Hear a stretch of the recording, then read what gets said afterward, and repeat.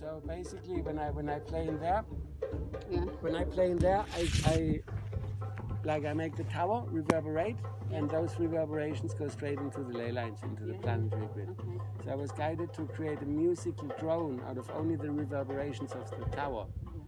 I filtered out 77 hertz and below, so that leaves only the sound created by the walls of the tower. Then a 90 minute musical drone, and we put that drone on a bass speaker in a church in the pulpit. And we charge those reverberations through opening up loving light vortices through music without words or song structure. Pure flow to connect to source. And this is how we anchor the light into the planetary grid. And then by doing it at the same time, all around the world at the same time, the same pulse, it will act like a pacemaker for our Mother Earth. And once there is 7,000 of those pacemakers, Yeah. they will turn into one peacemaker. This is my covenant. And this is the tower of my covenant. And it's a beautiful thing.